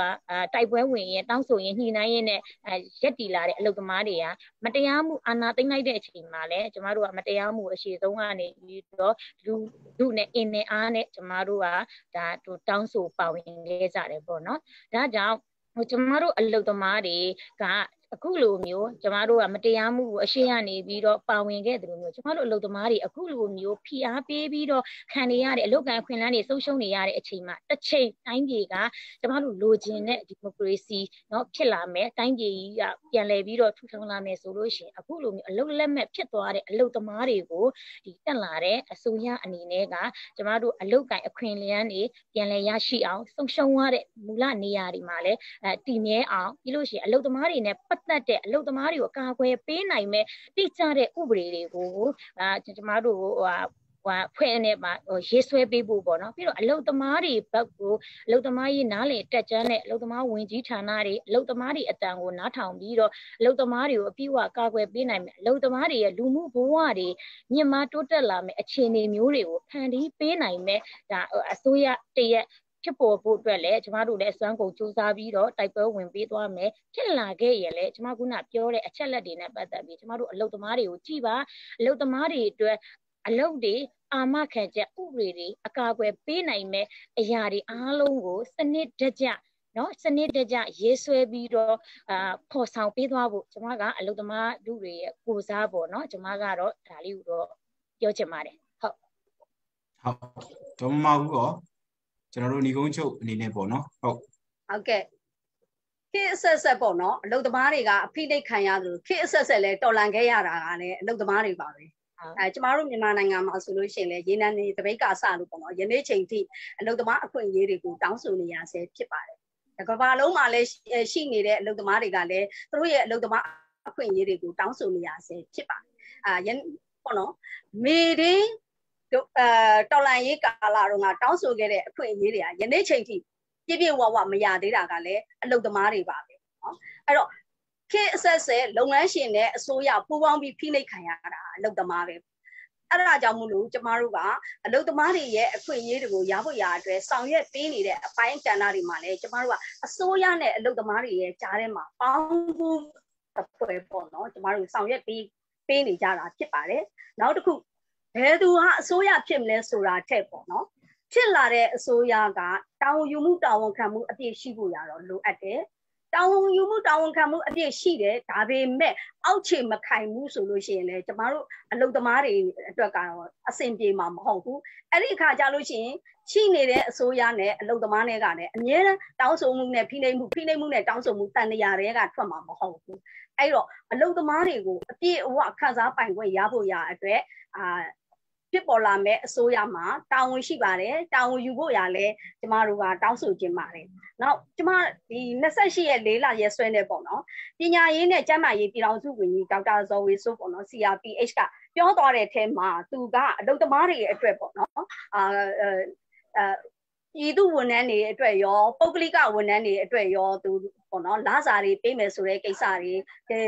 နိုင်ငံတကာအဖွဲ့အစည်းတွေနဲ့ဆက်သွယ်ပြီးတော့ဆောင်ရွက်နေတဲ့ကိစ္စတွေသူရှင်းပြသွားတာတော့ရှိပါတယ်အဲ့ဒီအတွက်ကျမတို့ကအားရဒါပေမဲ့လက်တွေ့မှာဘယ်လိုလုပ်မလဲဆိုတာပုံမှာလဲကျမတို့ကစောင့်ကြည့်လေ့လာပြီးတော့သုံးသပ်ချက်တွေပေးနေရမှာပဲဟုတ်ကဲ့အလုပ်သမားတွေကဖြစ်ဖွံ့ဖြိုးတိုးတက်နိုင်ငံတနိုင်ငံမှာအခြေခံလူတန်းစားကအလုပ်သမားပဲ နိုင်ငံတနိုင်ငံမှာတောက်တိုင်အခိုင်အမာဆုံးကအလုတ်သမားလူဒန်းစားပဲဒီအလုတ်သမားလူဒန်းစားရဲ့ဘဝတွေမပြည့်တမျှအဲ့ဒီနိုင်ငံကဘယ်တော့မှတိုးတက်မှာမဟုတ်ဘူး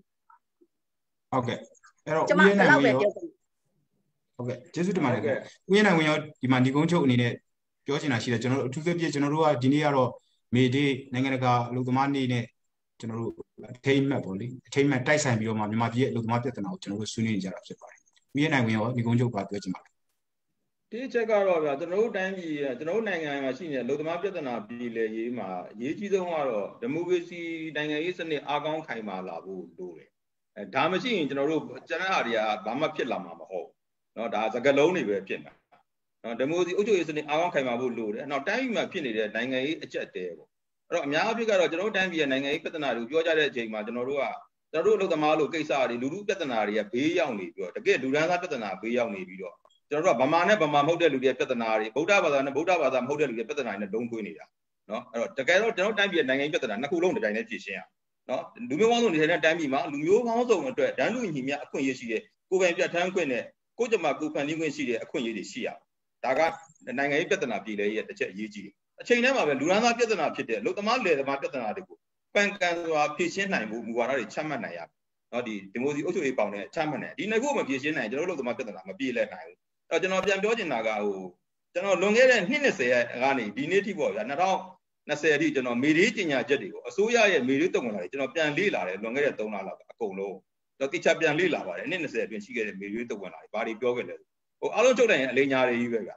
နော်ဟိုတို့ဝါရဖြန့်မယ်လုံစော်မယ်အပြစ်တင်မယ်အဲလုံသမားခွင့်ရေးတောင်းရင်စူပူလုံစော်တယ်ပြောမယ်ဒီလုံနဲ့တော့သွားလို့မရဘူးနော်အဲ့တော့ဒါဟိုဒီအစိုးရတွေကပြန်ပြီးတော့အစိုးရလုံမဲ့သူတွေ အစိုးရဖြစ်ကျင်တဲ့သူတွေပြန်စဉ်းစားသုံးသပ်ဖို့လိုတယ်နိုင်ငံရေးပါတီတွေပြန်သုံးသပ်ဖို့လိုတယ်ပြန်လေးလာဖို့လိုတယ်ကျွန်တော်တို့တိုင်းပြည်မှာအဲ့ဒါဒီနေ့ကိုစီဒီယန်လှုပ်ရှားမှုကျွန်တော်နည်းနည်းပြောချင်တယ်စီဒီယန်လှုပ်ရှားမှုဆိုတာကျွန်တော်တို့အထူးဆန်းမဟုတ်ဘူး1946မှာကျွန်တော်တို့ဖြစ်ခဲ့တဲ့ပလိတ်တပိတ်ကပထမဆုံးစီဒီယန်လှုပ်ရှားမှုပဲနော်အဲ့ဒီတော့ကျွန်တော်တို့အလုပ်သမားအခွင့်အရေးတွေနဲ့နိုင်ငံရေးတောင်းဆိုချက်တွေကိုကျွန်တော်တို့ဟိုဦးတွဲပြီးတောင်းဆိုတယ်ဗိုလ်ချုပ်အောင်ဆန်းတို့လိုဖတ်စာပလာအင်အားစုတွေညှိနှိုင်းပြီးကျွန်တော်တို့အကောင့်တွေပေါ်နိုင်ခဲ့တဲ့အတွက်ကိုအဲ့ဒါအလုပ်သမားပြဿနာကောနိုင်ငံရေးရည်မှန်းချက်တစ်ခုကိုရှေ့ကိုတဆင့်တက်သွား ရှေ့ကိုတဆင့်တက်သွားတိုင်းပြည်လွတ်လပ်ရေးတွေ1946အလုပ်သမားတပိတ်ပေါ့နော်ဒါစီဒီယန်လို့ခေါ်တဲ့ပလိဝန်တန်းတွေရဲ့ဥဆောင်ခဲ့တဲ့ဒီနိုင်ငံဝန်အမှုတန်းတပိတ်ကြီးကမြန်မာပြည်လွတ်လပ်ရေးအတွက်ကြီးမားတဲ့တွန်းအားကြီးဖြစ်ခဲ့နော်ဒါကိုသင်ခန်းစာယူပြီးတော့ဗိုလ်ချုပ်အောင်ဆန်းတို့ကဒါအလုပ်သမားမူဝါဒတွေချမှတ်နိုင်ခဲ့တယ်သို့တော်ကဒီဘက်အဲ့ဒါကိုလက်ဘက်ဒီဘက်ခေလွတ်လပ်ရေးရပြီးခေအကောင့်နဲ့ပေါ်သလားဆိုတော့ပေါ်တာကျွန်တော်မတွေ့ရနော်နောက်တစ်ချက်ကျွန်တော်တို့ဒီ88ဒီမိုကရေစီရေးတော်ပုံကြီးမှာနိုင်ငံဝန်ထမ်းလူသမားတွေအများကြီးပါဝင်လာခဲ့တယ် GSC လို့ကဖွဲ့ကြီးတွေဖွဲ့ကြတယ်နောက်ကကျတော့ဒီအာနာသိမ်းကြီးရဲ့ခါကျတော့ ဒီဝန်ထမ်းတွေအများကြီးပြုတ်သွားကြတယ်အဲ့တော့ဒီဘက်တက်လာတဲ့အရက်ဘက်အစိုးရတွေကအဲ့ဒီဒီမိုကရေစီအရေးတော်ပုံကြီးမှာပါဝင်ခဲ့တဲ့အဲ့လိုဝန်ထမ်းတွေကိုဘလို့ကြည့်ရှုပြီးတော့ပြန်လဲပြီးတော့ဘာလို့ပေးခဲ့လဲဆိုဘာမှကျွန်တော်မတွေ့ဘူးတစ်ချက်နော်ဒီနေ့ကျွန်တော်တို့စီရီယန်လှုပ်ရှားမှုဆိုတာကျွန်တော်တို့ဘက်ပေါင်းစုံကနေနိုင်ငံဝန်ထမ်းတွေပါဝင်လာတယ်ပုဂ္ဂလိကကဏ္ဍတွေကလည်းပါဝင်လာတယ်အဲ့တော့ဒါကတကယ်အမျိုးသားရေးလှုပ်ရှားမှုကြီးဒီမိုကရေစီရေးရှိတလက်လက်ပါကြီးအနေနဲ့ပါဝင်လာတဲ့နေရာမှာဒီဝန်ထမ်းတွေနဲ့ပတ်သက်တဲ့အခြေအနေတွေကိုလက်ရှိ ဘာပဲပြောပြောအစိုးရဆိုတဲ့လုံမဲ့သူတွေအစိုးရဖွဲ့ဖို့ကြိုးစားနေတဲ့သူတွေကဘလောက်အလေးနဲ့ထားပြီးတော့ဘူဝါဒတွေချမှတ်မှာလဲဒါကအရေးကြီးတယ်ကျွန်တော်တို့ပထမဆုံးအရေးကြီးဆုံးကဘာလဲဆိုတော့သူတို့ဘလို့မူဝါဒတွေပဲချမှတ်ချက်မှာကျွန်တော်တို့တိုင်းပြည်မှာရှိနေတဲ့ဘျူရိုကရေစီအုပ်ချုပ်ရေးရန်ရာကိုမရှင်းနိုင်ဘူးဆိုရင်ဘလောက်ပဲကောင်းတဲ့နိုင်ငံရေးမှုတွေချတာအကုန်ပြတ်မှာပဲနော်ဒီနေ့ကျွန်တော်တို့နိုင်ငံဝန်ထမ်းတွေရဲ့စီရီယံလှုပ်ရှားမှုကအဲ့ဒီဟာအများကြီးကြေးရိုက်ခတ်မှုရှိတယ်ဘယ်လဲဆိုတော့အစင်းစင်းအုပ်ချုပ်ရေးဟာ ကျွန်တော်တို့ဟိုတပ်ဖက်ကပုံကိုယ်တွေပဲအသွင်ပြောင်းပြီးအုပ်ချုပ်တာနော်ညွှန်ကြားရေးမှုချုပ်တွေအတွင်းဝင်တွေသူတို့ပဲအစင်းစင်းအောက်ခြေဝန်ထမ်းတွေရဲ့အစင်းစင်းလာလာဒီယာရုတက်တဲ့စနစ်တွေမှာဆိုတာသူတို့ရဲ့ခြေလှယ်မှုတွေတွေကသွားနေတယ်အဲ့တော့ဒီမှာဆိုးဖြစ်တာဘာလဲဆိုလို့ရှိရင်နိုင်ငံဝန်ထမ်းတွေမှာကိုဌာနအလိုက်သူတို့လုပ်ငန်းအရကျွမ်းကျင်တဲ့သူတွေအများကြီးရှိတယ်သူတို့လုတ်ကင်ခွင့်တွေမရှိဘူးနော်အစစ်အစစ်ဖိနှိပ်ခံတာဒါတွေကလည်းဒါကနောက်ဒီလုံသမားရေးကိစ္စတွေကိုလုတ်တဲ့ကောင်းတဲ့ပုံမဲ့နေရာမှာမူဝါဒချက်မှဒါကိုအလေးနဲ့ထားဖို့လိုတယ်နော် နိုင်ငံရေးမူဝါဒမှန်ကန်ဖို့လိုတယ်ဒီမိုကရေစီဖွံ့ဖြိုးဖို့လိုတယ်နောက်ကလုံနိုင်ငံရေးဒီလုံသမားပြဿနာကိုမူဝါဒကိုချက်မှတ်တဲ့နေရာမှာတကယ်ကိုနိုင်ငံရေးပါတီတွေကအလေးနဲ့ထားပြီးမူဝါဒတွေကိုတိကျပြန်လေ့လာပြီးချက်မှတ်ဖို့လိုတယ်အခုကျွန်တော်တို့တွေ့နေတယ်ကျွန်တော်စောစောပြောခဲ့သလိုပဲဟဲ့လားလွန်ခဲ့တဲ့10နှစ်ကမြေလေးတဝင်လာတွေပြန်ကြည့်တဲ့တာပဲဟဲ့လားဒီ IN တို့ကဘာပြောတယ်လက်ရှိအခြေအနေပဲခက်ညက်ကက်နဲ့သူတို့သွားနေတာပဲအောင်မြင်မှုပဲသွားနေပြဿနာသူတို့မသွားဘူးအဲဒါကြောင့်မို့ကျွန်တော်တို့ပြဿနာမပြေလည်နိုင်ဘူးအဲ့တော့ကျွန်တော်ချုပ်ပြောခြင်းရင်တော့ ကျွန်တော်တို့တိုင်းပြည်ရဲ့တကယ်လိုအပ်တဲ့ပြဿနာကဒီမိုကရေစီအုပ်ချုပ်ရေးစနစ်အားကောင်းလာဖို့လိုတယ်တိုင်းပြည်ငြိမ်းချမ်းဖို့ဆိုလို့ရှိရင်လည်းတိုင်းရင်းသားပေါင်းစုံပါအားလုံးလက်ခံနိုင်တဲ့ဖက်ဒရယ်ပြည်တော်စုကိုတည်ဆောက်နိုင်ဖို့လိုတယ်တစ်ချိန်တည်းမှာပဲလူရန်သားပြဿနာနှစ်ရပ်ကိုမေ့ထားလို့မရဘူးနော်အဲ့ဒါကိုလည်းတကယ်လက်တွေ့ကျတပြိုင်တည်းအကောင့်နဲ့ပေါ်ဖို့လိုအပ်တယ်ဒါမှသာလျှင်ကျွန်တော်တို့တိုင်းပြည်အနာဂတ်ကပုံမကောင်းမွန်လာပြီးတော့ဒီလိုအနိဋ္ဌာယုံတွေကနေကိုကျွန်တော်တို့လွတ်မြောက်နိုင်မယ်လို့ကျွန်တော်ပြောချင်ပါတယ်ဟုတ်ကဲ့ကျေးဇူးတင်ပါတယ်ခင်ဗျကျွန်တော်တို့ဒီနေ့အစီအစဉ်ကတော့မေဒေး ပြည်ပဆိုင်ရာအလုပ်သမားနေ့အထူးအစီအစဉ်နေနဲ့ကျွန်တော်တို့ဆက်ဆက်ပြီးတော့မှလက်ရှိမြန်မာပြည်မှာအလုပ်သမားတွေရင်ဆိုင်နေရတဲ့အခက်အခဲတွေဒါတွေကိုဘယ်လိုမျိုးရင်ဆိုင်ကြမလဲနောက်ပြီးတော့ဒီ data တွေကိုဒီအခြေအနေတွေကိုပြောင်းလဲပြနိုင်ဖို့အတွက်ဘာတွေလိုအပ်နေတယ်ဆိုတာကျွန်တော်တို့ဒီရတဲ့အချိန်မှာကျွန်တော်ဆွေးနွေးခဲ့ကြတာဖြစ်ပါတယ်ဆွေးနွေးပွဲမှာပါဝင်ဆွေးနွေးပေးကြတဲ့အတွက်ဦးရဲနိုင်ဝင်းရောပြီးတော့မှဒုံမိုးစနာမြေရောပြီးတော့မှဒေါ်မမဦးရောကျေးဇူးတင်ပါတယ်